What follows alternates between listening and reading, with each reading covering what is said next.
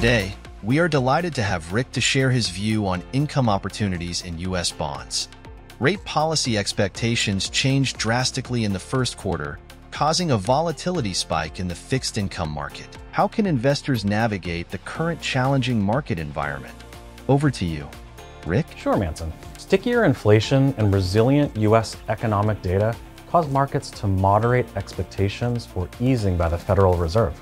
Over the past year, volatility in broad fixed income markets was largely driven by interest rate risk, given the lingering concerns over uncertain rate paths. An unconstrained approach should benefit from the flexibility to navigate the entire opportunity set of credit and rates and allocate into sectors with relatively attractive risk return profiles in accordance with the macro environment. The aim is to provide a stable, consistent income stream to assist investors to navigate the changing environment. For example, under a risk-off environment, treasuries may help buffer the downside risk and benefit from investors' flight to quality. In contrast, when markets turn to risk-on mode, credit, including high yield and preferreds, tend to outperform. Where can investors seek good sources of high income in today's challenging and dynamic market environment?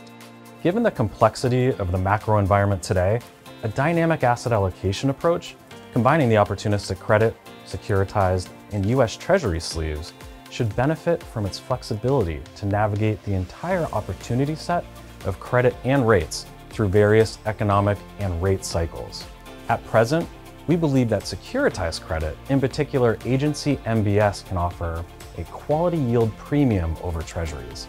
In addition, agency MBS spreads remain well outside long-term averages. Preferred securities can offer investors the potential for a relatively high income, diversification from core bonds, and a low risk of default.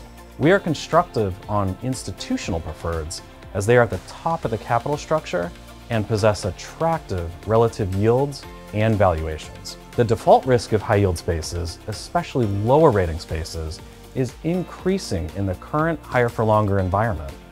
Credit selection is thus key amidst rising defaults, and we focus on higher quality with underweight and lower ratings.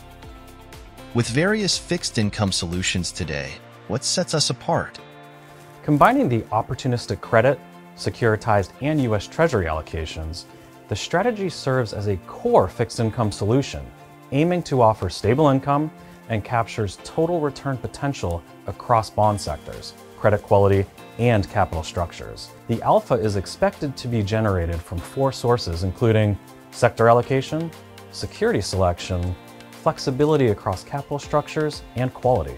We are focusing on our specialty, preferred securities, a key differentiator with the opportunistic credit sleeve allocations, which offer a relatively high income potential and low risk of default. We believe no active duration bet is important for consistent performance amid an unclear rate outlook. While derivatives tend to offer broad index exposure, a physical bond portfolio offers a targeted and precise sector allocation, security-specific selection, and higher portfolio transparency.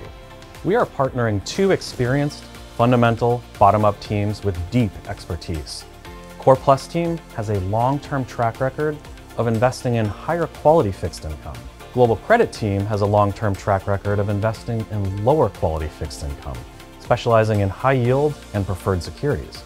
Supported by our globally integrated platform with 155 investment professionals in 14 locations, managing $170.9 billion in fixed income assets worldwide.